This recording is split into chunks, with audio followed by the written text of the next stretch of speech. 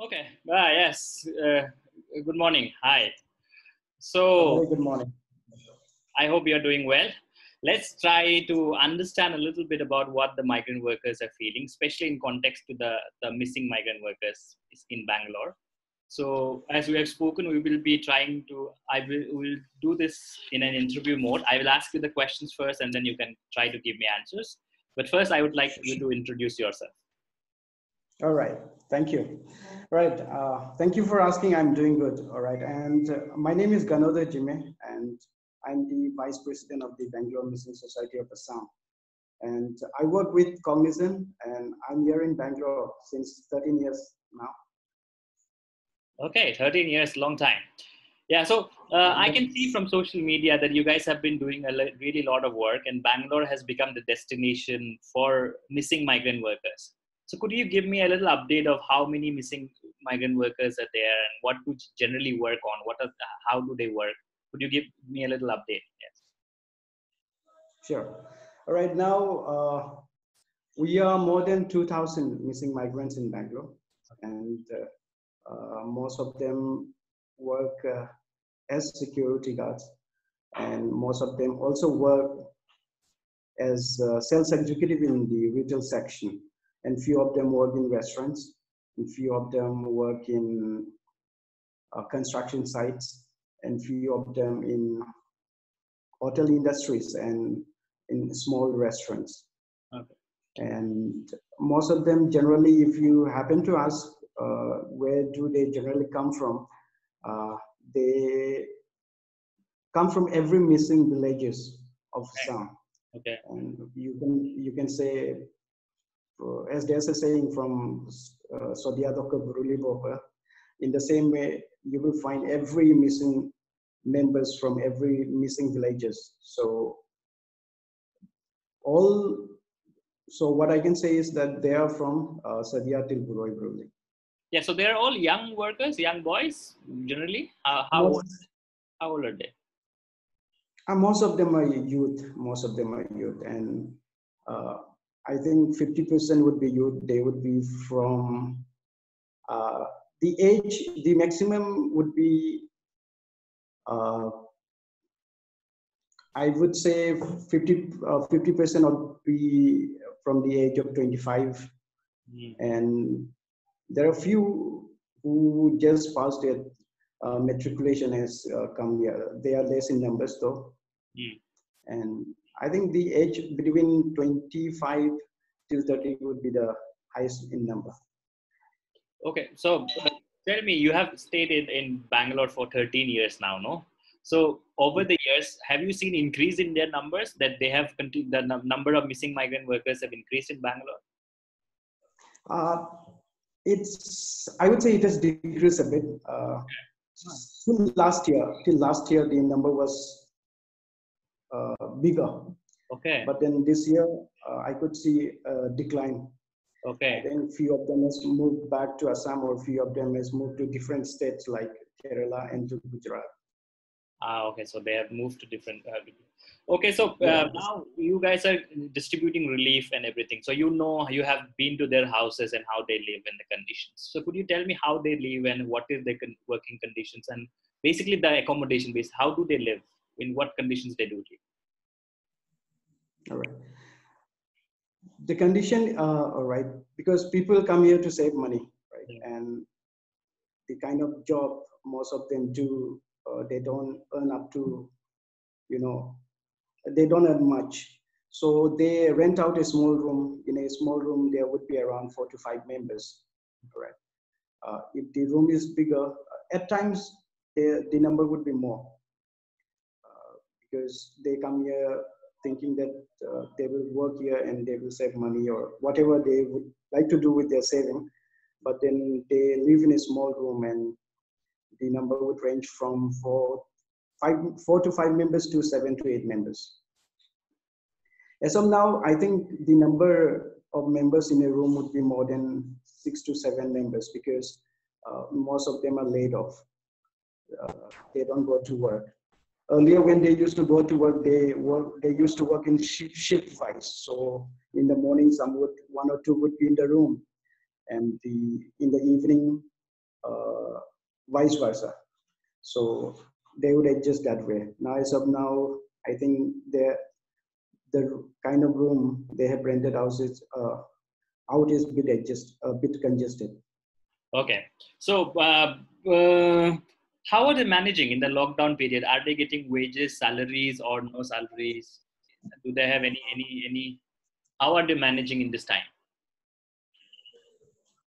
At, all right. Uh, at this point of time, they are relying on credits. Credit in the sense, see, our guys used to buy those groceries from one shop.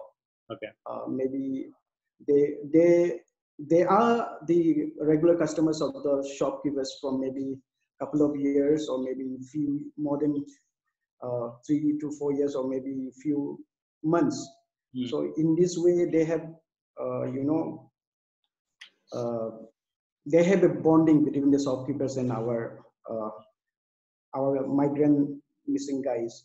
Mm. So they do give them credit, but then the credit, the kind of credit they receive now is not up to, you know, uh, not like the usual month. Mm. So after the lockdown, the kind of needs or the kind of uh, daily necessity they would require shop, the shopkeepers could not provide them.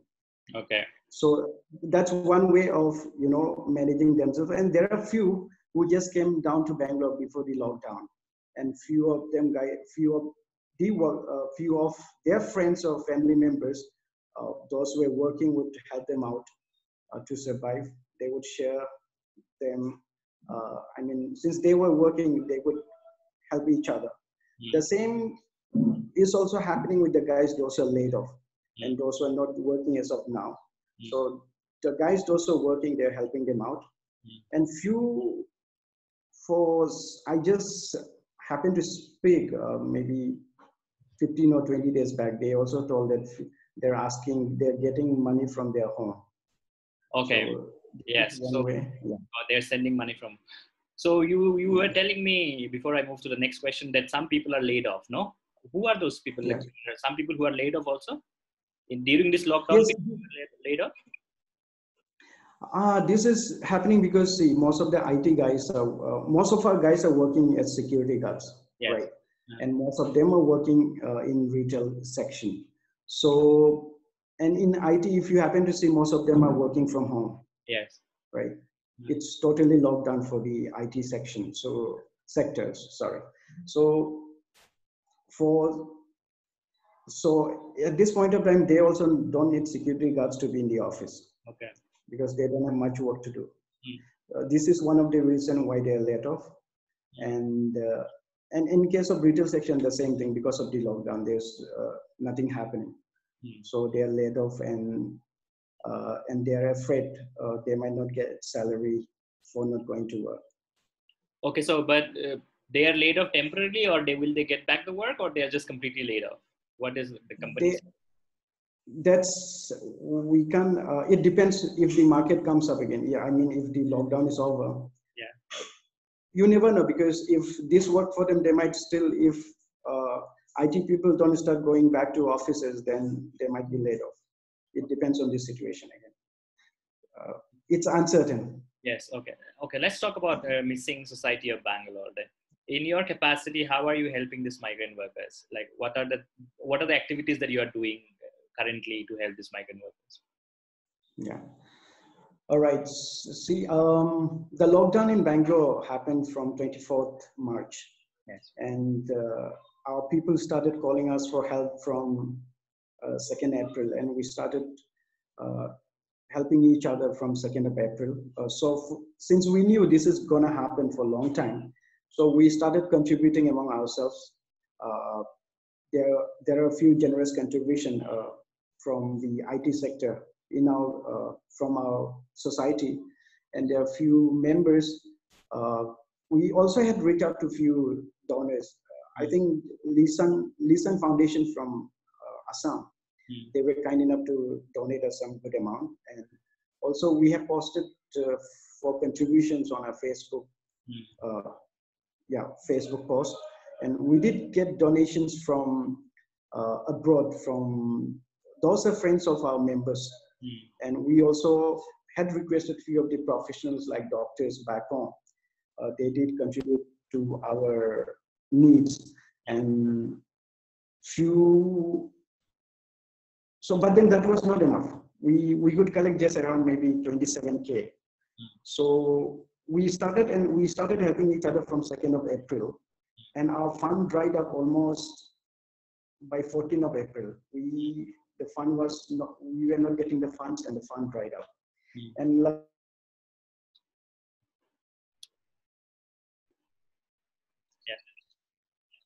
yeah. So what happened was lucky we were lucky actually. Uh, there's a uh, when the fund dried dried up we were very worried and we were like how to go forward from here on?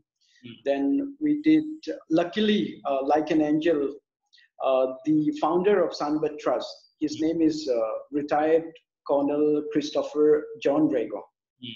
Uh, they have they have school in Majuli, they have school in Manipur, and they also have school in Haflong. Mm. Uh, they're, they, they're running a school in the name of Hummingbird in Majuli. And since Sun, since Sunbird Trust had been helping almost 50 communities, almost 40 to 50 communities of Northeast. Mm. And uh, retired Colonel Christopher Rego, he was like, I have got a school in uh, Majuli, which mostly populated uh, by Mising community. So he asked one of the teachers in uh, uh teachers from his school, mm. asking, "Do you guys have any community in Bangalore?" Mm. All right.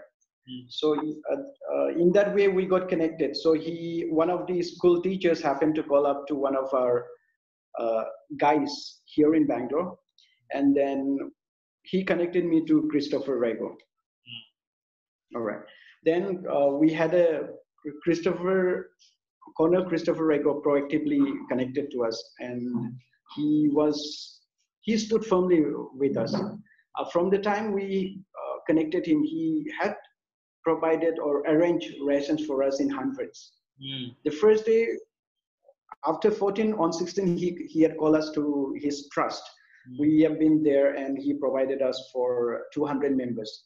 Mm. Again on 16 again on 17 he provided same numbers that was maybe for 200 200 same numbers again on 18 again on 18 he provided us for 500 members mm. so again recently he provided us for uh, uh, he gave us 100 packs that could uh, we could provide to around 300 people and then again last I think Wednesday.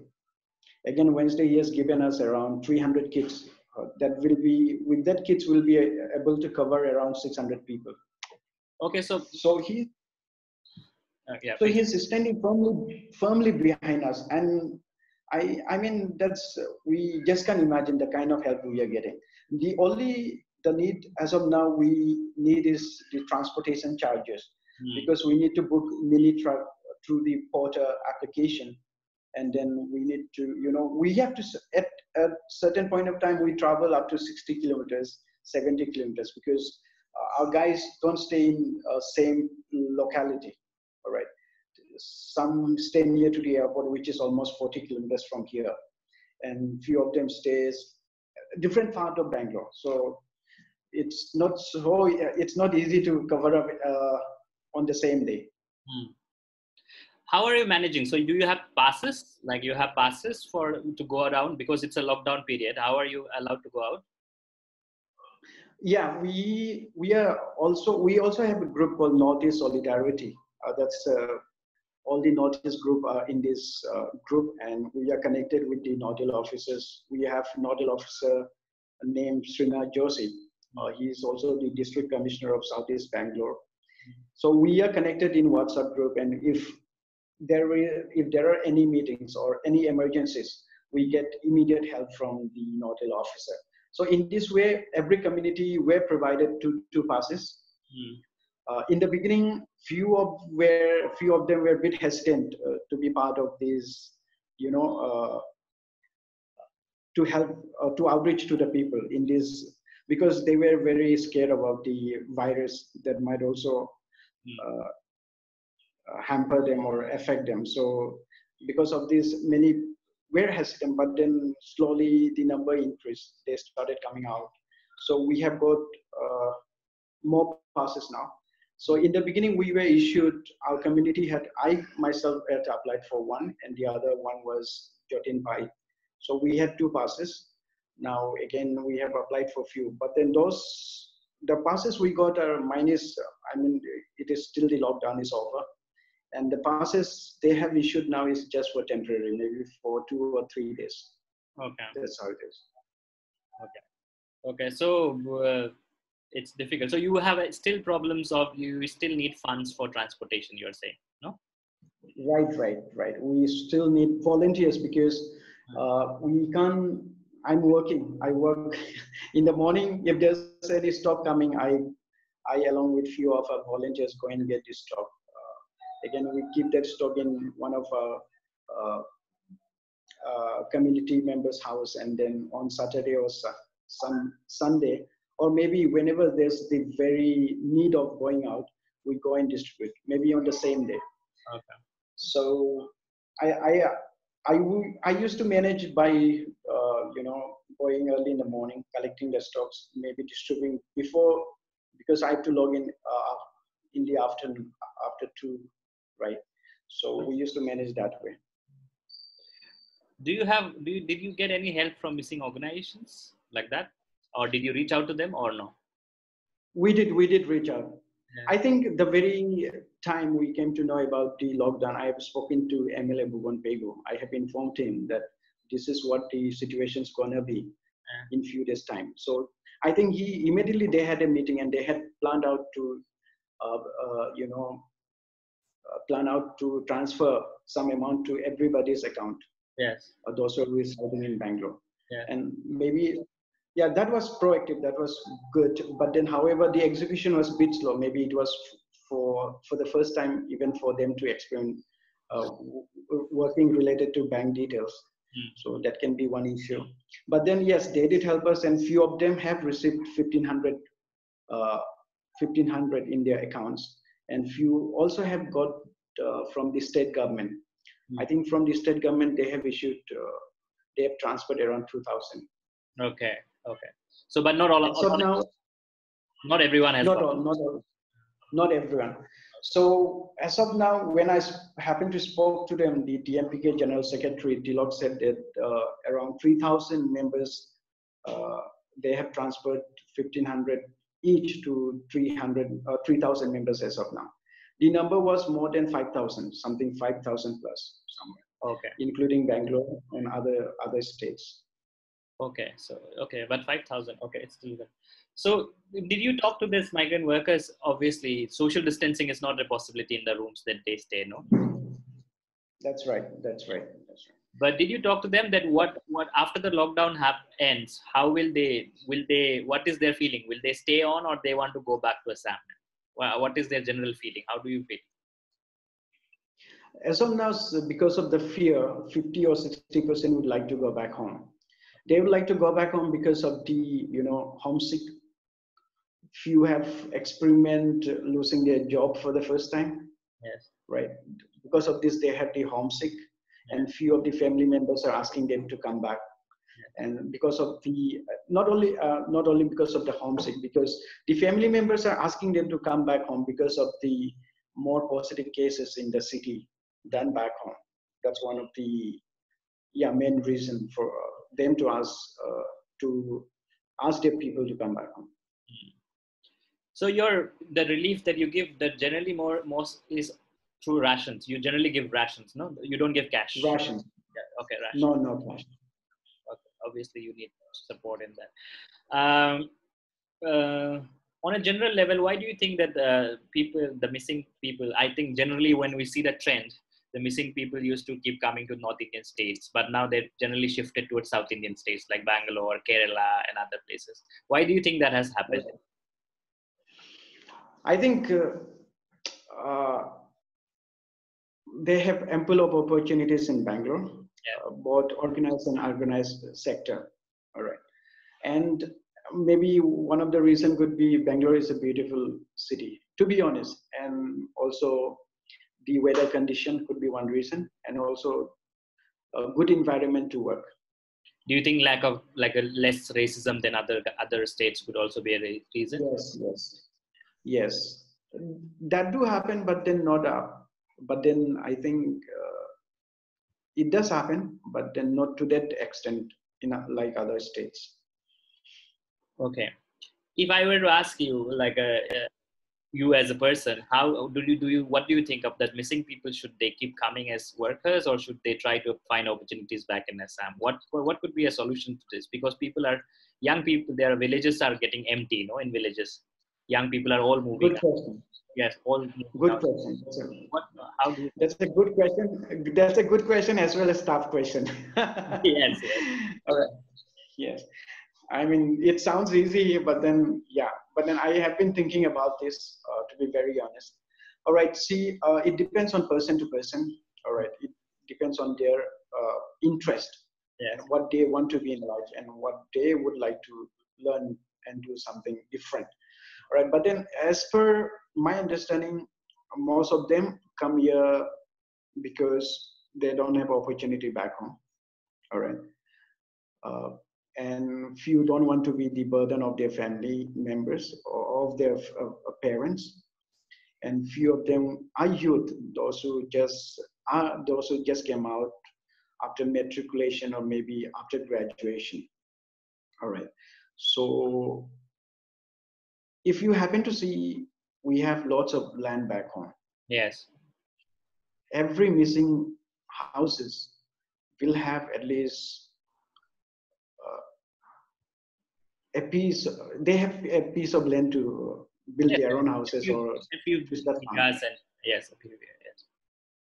yes. So my here my see even if they happen to come here i would suggest them to you know uh, to upgrade themselves uh, up. They should do a, they should work as well as uh, maybe over the weekends they can learn something say they can learn or they can uh, join a course or maybe they can go they can develop their skills uh, mm-hmm. most of them if i happen to see uh, most of them are working in security guards and they do have time mm-hmm. all right maybe in the weekends uh, they can go they can join a course or they can learn something new or they can see uh, why Bangalore is so developed and why it's not happening back home. Mm. And if you happen to see most of our, uh, our commercial area like Silapathar or Gogamukh or Jonai, if you happen to see most of the shopkeepers are from outside. Yes. Even the barbers, even the barbers and even the, uh, you know, those uh, like uh, those phone repairers, all right, all are from, all are outsiders Mm. So they do our Mising guys. They do come here and they work in restaurants, right? Mm. They work in restaurants. They few of them work in garages, and few of them work in retail shop. So they have learned a lot. So what they can do is they can, if they can do it here, they can also do the same back home. Mm. So that's the mindset we need to, you know, uh, we need to tell them about and we need to ask them to you know learn learn from here. But then even i think as per my knowledge few of them have moved back last year because they knew that they can't be here for a for a long time. Mm. they can keep working here for a long time. Mm. so that could be one of the reason why the number has decreased.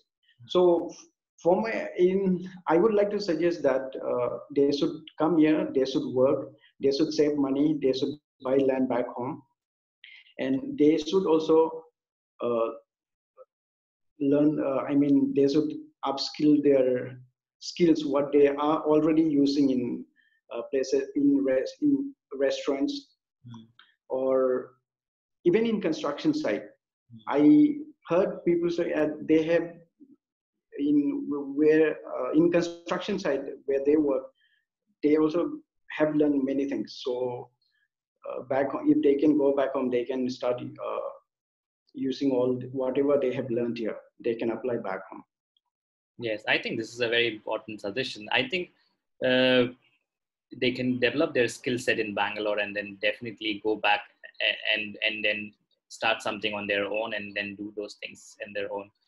Uh, but last question before we stop this formal thing and we can uh, do you think uh, people like us like you me who are let's let's say who are higher up the ladder who have a, a, a, little more skill than the migrant workers have can we contribute something to them? Can we like probably your idea I, I really liked it a lot maybe on the weekends we can go and teach them something or we can ask we can get them connected to like a various courses. So so what are the things that we, we can do like what are the things? If bangalore is, Mising societies is already doing something then you can tell me that also. But also for us general people who will watch this what are the things that we can generally do to support them? In in long term not in terms of like just surviving this lockdown but in long term to develop their skills and to long term to help the Mising community. I think uh, most of them don't have guide proper guide. They do not know what to do how to go forward. That's one of the main reason. Even if they have completed their graduation, uh, they don't know what course to take up, right? And how to move forward. They think, okay, they have done graduation, that's enough for me. All right. So I think uh, we should. I think we should be a proper guide to them. I mean, based on their ability. I think once we start meeting them over the weekends, we will also get to know what kind of education uh, background they are from. Mm. So based on that, we can uh, suggest them. Yeah. And I think uh, even uh, this uh, MSc chief, he was speaking to me that he wanted to come to Bangalore to discuss uh, related to these issues. How do we bring back home mm. to our people? He had he wanted and he wanted to come down to Bangalore. He also wanted to include Delhi, Pune, and Gujarat guys to, and they wanted, uh, he wanted them to come down to Bangalore and wanted to have a meeting related to this. And I think what we can do now is we need to tell them what are the uh, courses they can go for, right? After after that, I mean, once they start taking up the courses, uh, I think we can ask them to join somewhere else, get the ex, uh, experience, and then if they can apply the same back home, that would be great. Yeah. So these are few things I think we need to do a bit of survey related to this because we exactly do not know what kind of uh, education background they come from. Mm. Right. So, and but then uh, there are a few people those who have not completed their education as well. They have just passed 10th and they have come down. And there are a few uh, those who are already married yes they are supporting their family members and they are not able to go back home since long maybe even few i have seen three to four years they have not gone back home mm. they send back home money but then they're taking good uh, care of their family members mm. right they're supporting their family well but then the fear i mean but then they do not know what will happen to them in future mm. because even if they want to go back home they cannot leave the job and go back home hmm. all right because of this reason they are staying here for a long time. And we should i in for this especially for people those are married we have been encourage, encouraging them to buy land back home. Uh, develop your land because uh, i think if you have land and if you happen to develop the land we can do we have lots of opportunities. And i think now the communication is uh, good as well back home. Now I, I heard few people, few from Dibrugarh, they come to to uh, uh, to buy vegetables in Silapathar. Mm. So so I think we can. Uh, this is what we discuss with the married person, with the youth. I have been asking. They play good. They play cricket here. They play football here.